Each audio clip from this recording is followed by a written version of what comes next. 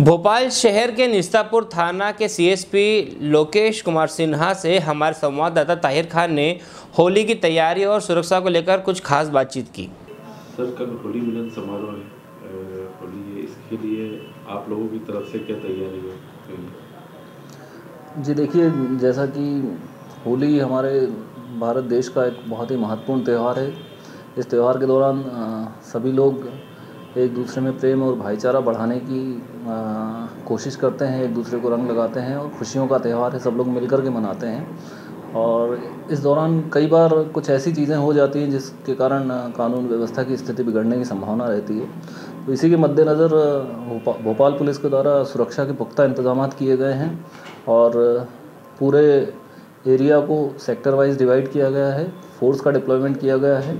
जो संवेदनशील स्थान है, वहाँ पर ज़्यादा से ज़्यादा बल लगाया गया है। हम इस व्यवस्था को राउंड द क्लॉक व्यवस्था के रूप में लगाया गया है। 24 घंटे पुलिस उपलब्ध रहेगी सभी जगहों पर। हेलो फ्रेंड्स आप देख रहे हैं हमारा channel S W twenty four news हमारे सारे वीडियो सबसे पहले देखने के लिए आप हमारे चैनल को सब्सक्राइब करें और पास में लगे बेल आइकोन को दबाना बिल्कुल भी ना भूलें।